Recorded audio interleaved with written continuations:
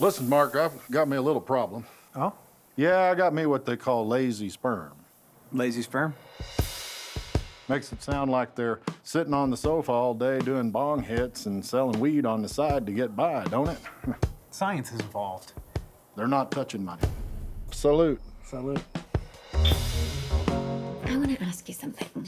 I was wondering, Anyway, I was wondering if you could let Mark. father a child with Sara. What? Me? It's kind of strange. Yeah, We don't have to sleep together. I just want a sperm. You want my sperm? Sara does. We think the world of Mark. Apparently. You don't want my sperm?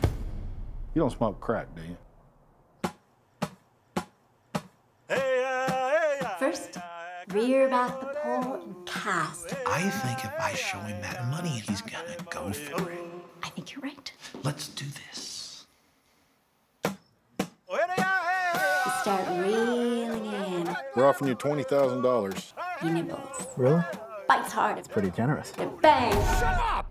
It's the middle of the night! Salute. Don't throw your potatoes. Don't sling your tomatoes. Sara, is she all right? No, not really. Refrain. It's just friends helping friends. This is better than a soap opera.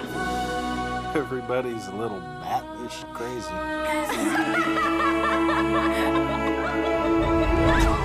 wow. Hope this won't happen again. Salute.